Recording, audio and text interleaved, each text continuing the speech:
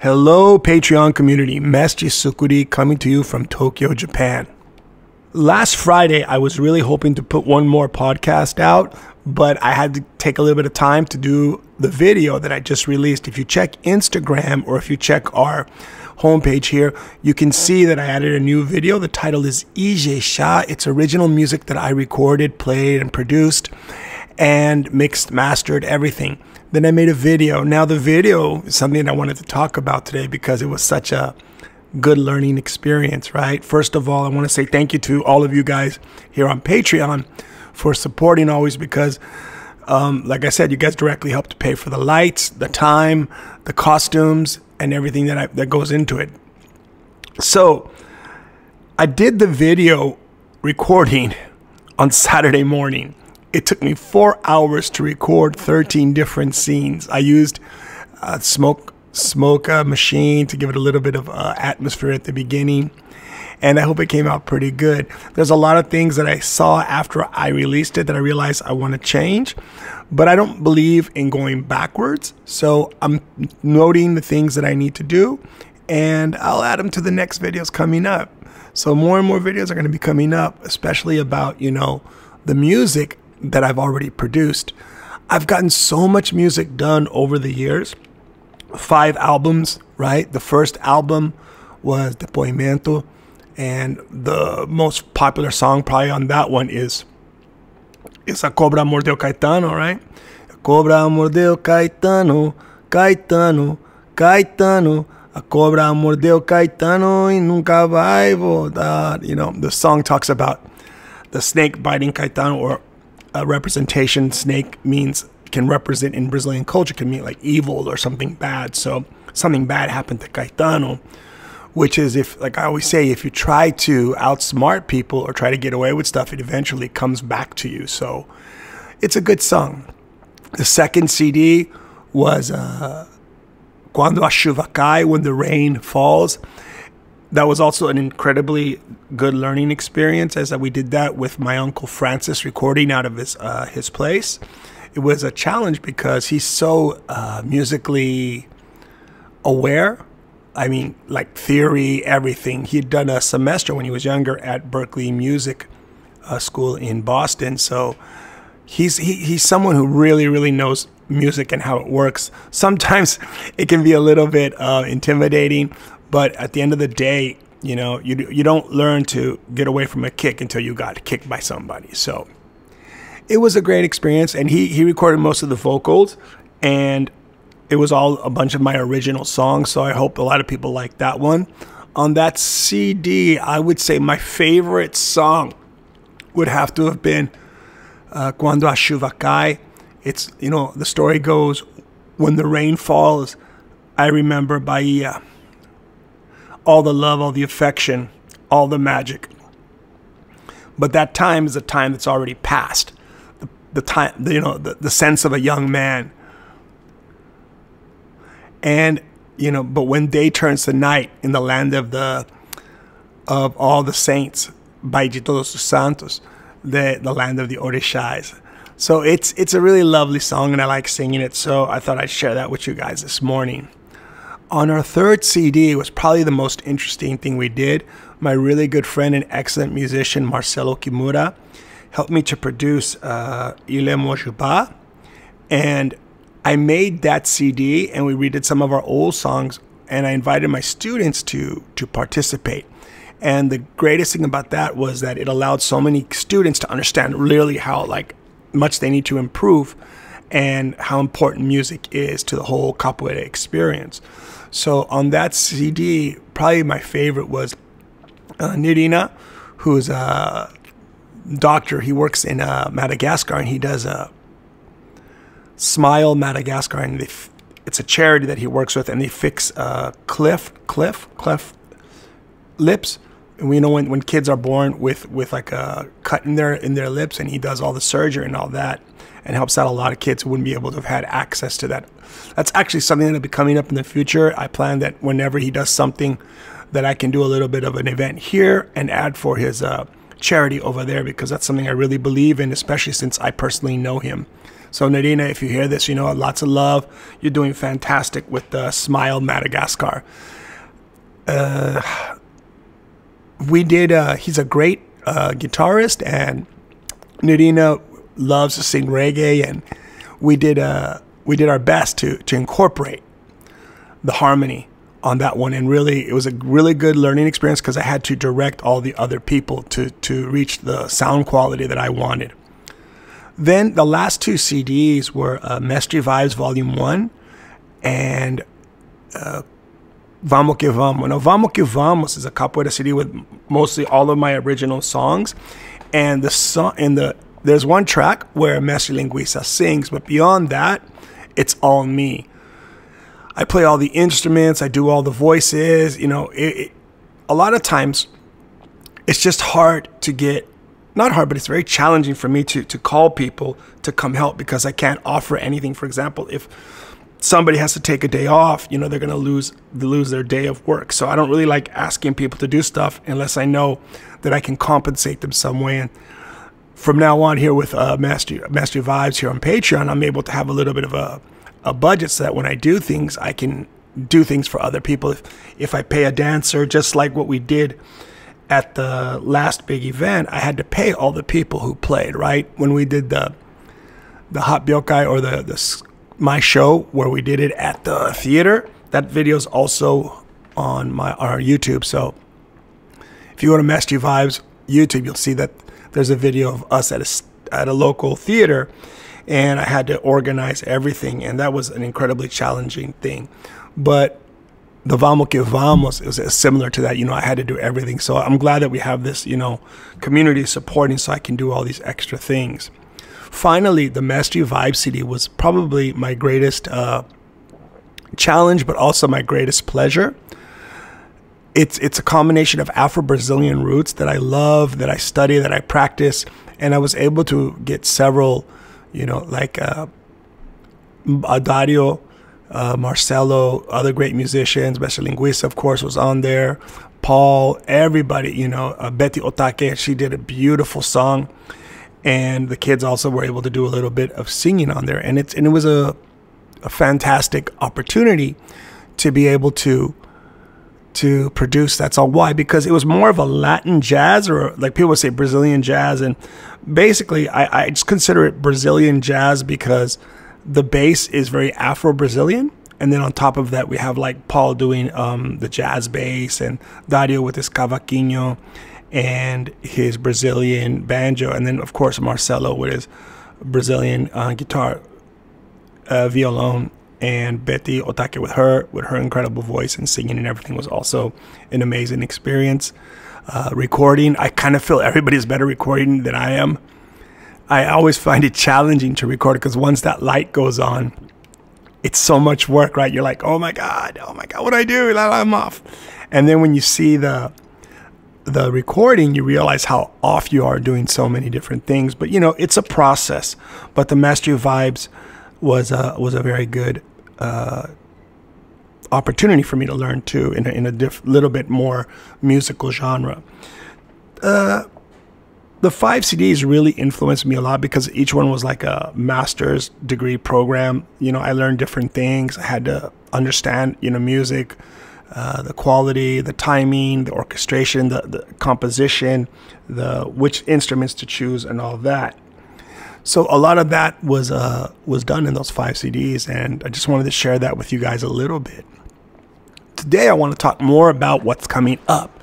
So, over the last three weeks, four weeks that I've been, working, um, restarted the Patreon, I've actually come back with a uh, with a very focused intent, and the focused intent is is to create a Patreon community that can help me to to cover my costs and time, energy, moving, um, be able to pay for other people's things that I have to pay for when I have to call people to to help me, and really just focus on creating and and visualizing and bringing to life all the amazing ideas that I have, all the great ideas I hope that people will like. And as I mentioned to to my wife, right, I'm actually creating for for you guys for the for the Patreon community. Of course, everyone else gets to see the final projects. I promise that I put everything like final projects will be on on YouTube and Instagram and people can see it on Facebook. But the behind the scenes, the podcast like this, once in a while I'll put a podcast up, but generally it'll be just for you guys because it's it's it's something that you guys are supporting directly. And I don't know, maybe in the future we'll take a, a poll of the of some of you guys, and if you guys think I should put this out on a regular podcast service, well, then you guys can let me know, and, and we'll see about that. I do have a DistroKid and it's a it's a CD, like all our music's on uh, Spotify and all the different things, and I wonder if that would also be able to, like, could I put my podcast on that? But I'll have to have a look on that. For right now, I'm just focusing on growing our Patreon community. And like I said, we've got the different tiers, the different things are going on. And just just, you know, so if you guys not sure if, if what's going on, I kind of re not restructured, but I re reorganized the different tiers a little bit. And I just wanted to talk to you guys about that so you guys can you know, take a look. And also, may, maybe you might decide you want to to upgrade, right? Uh, we have the three dollar tier, and that get all the Patreon uh, updates, early access of when I put things out, the behind the scenes contents, digital download, right? It also includes the the podcast and everything, right? The digital downloads or behind the scenes is I, I kind of feel it's it's the podcast, and I'm going to be talking about a lot of different things. I've got uh, Mestre Gallego, who wrote uh, Playing in the Light, a song, I mean, a, a book. He's going to be coming up and he's going to be doing, uh, I'm going to be doing an interview with him coming up in the next few weeks. So I, I'm slowly getting more and more organized and able to take the podcast in the direction that I want, not only as a, as a, as a capoeira mastery, but as a mentor. So if if you just want to hear the podcast and you just love throwing, you know, a cup of coffee at me every every month, you know, the three dollar tier is perfect.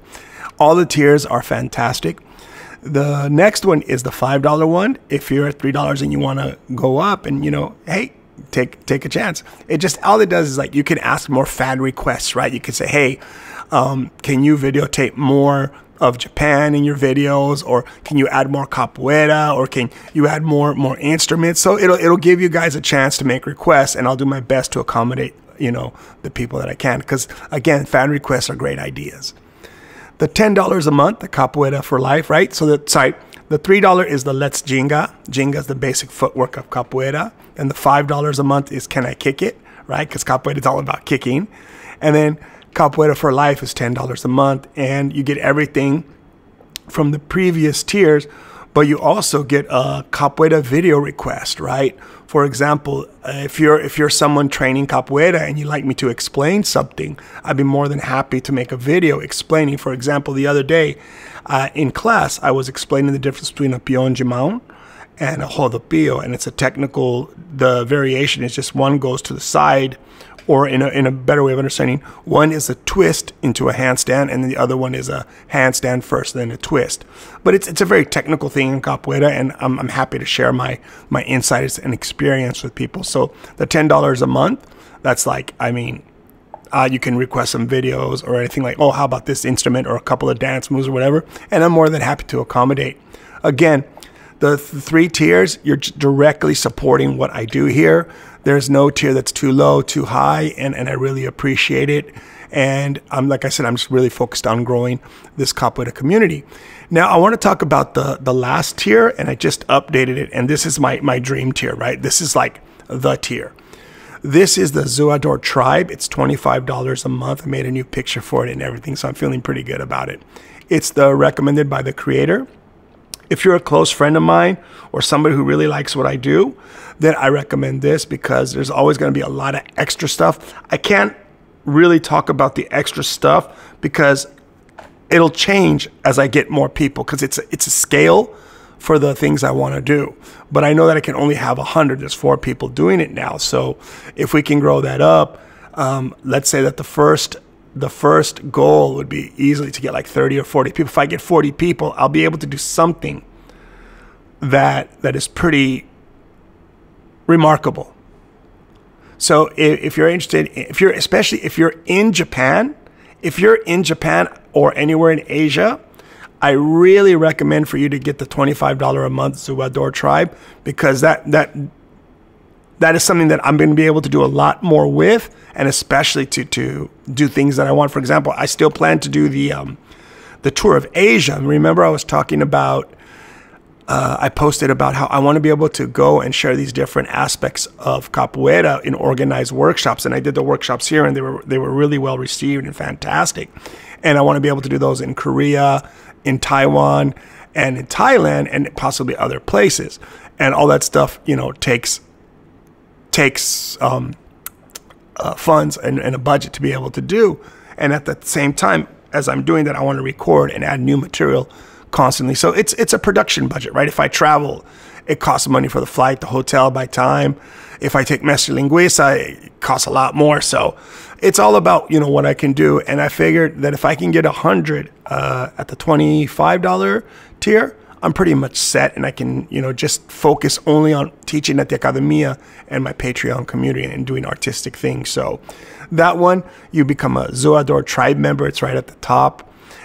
For the $25 a month tier, if you're like in Japan or in Asia, I'll be releasing, to the best of my ability, I'll be releasing a new capoeira video every week for studying, for training, for, for understanding capoeira, especially on your growth of capoeira. So I'm hoping to get that done. And this week I'll get get on that. Like right now I'm doing this podcast on a Monday. It's actually Monday is the day we don't have any classes, but it's the day that I can get most of my stuff done. So I got a lot of my my computer work stuff done today. And now I'm doing this podcast so that you guys can have something to listen to tomorrow morning. So my goal again is going to be to do the podcast Tuesdays, Wednesdays, Thursdays, and Fridays to release. At least three times a week, going for the regular of four. Um, like I said, I got some people I'm planning to interview. And one of the first things I'm going to be talking about, I'm getting it ready for uh, probably come out on, on Wednesday. I'm going to be talking about the evolution and the political division of the difference between Capoeira Angola and Capoeira Regional, or what we call contemporary um, capoeira, a lot of times people are telling me like this is this, this, and this, but very rarely do people have any study or any uh, research in the subject and how it started. So I'm going to get into it. It's going to be a little bit more academic, but I'm planning to do that on my next podcast. So when you hear this one, you know it's going to be the one after, and it'll probably be um, something called like Angola Regional um, from an educative or, or from a research perspective, right? So that you guys can see how that developed and how each school became the way it was and why is one associated more with Africa and you see a lot of people more like Rasta um, and then you see the other side which is more sportive and more uh, Brazilian if we want to say it. They're both uh, Brazilian manifestations and my point um, Capoeira is from Brazil I don't see, I've never seen any evidence of it anything else. Uh, just because it's a kick somewhere else doesn't mean it's came from there. I mean, I've heard theories that capoeira came from Savate, the French like foot fighting, um, the Ngolo dance. I mean, there's so many things, but uh, if we don't really have a a good base of where it's from, we're going to have to talk about it in a more researched and educative manner, just because it's important that people understand, because it's really not that different. It's really how people wanted to influence it and um, control the the outcome of using it as a cultural art. Cool, cool, cool, cool. So, like I said, we've got a lot of new things coming up, and I hope to talk to you guys really soon. If you guys have any feedback, feel free to to contact me. You can email me here on Patreon or you can post and we'll get things done. Guys, again, the new video Ijesha is up. I reorganized the tiers. If you'd like to level up the tiers, you know, you can just go to your account and you can level up. I've got a goal of a hundred at the $25. But if more and more people join at five, three, four, and it all adds up, um, I'd like to get up to about, you know, enough so that this is actually like my non-teaching capoeira job, if that makes any sense. I teach capoeira classes about 16 a week, and in the mornings I do this. So this would be about five, six hours, seven hours a day that I put into it, uh, five, six days a week. So I'm trying to get that and, and just be, you know, respectful of my own time. Guys, have a fantastic day, and I'll talk to you guys very soon. Mestre Sucuri, Tokyo, Japan.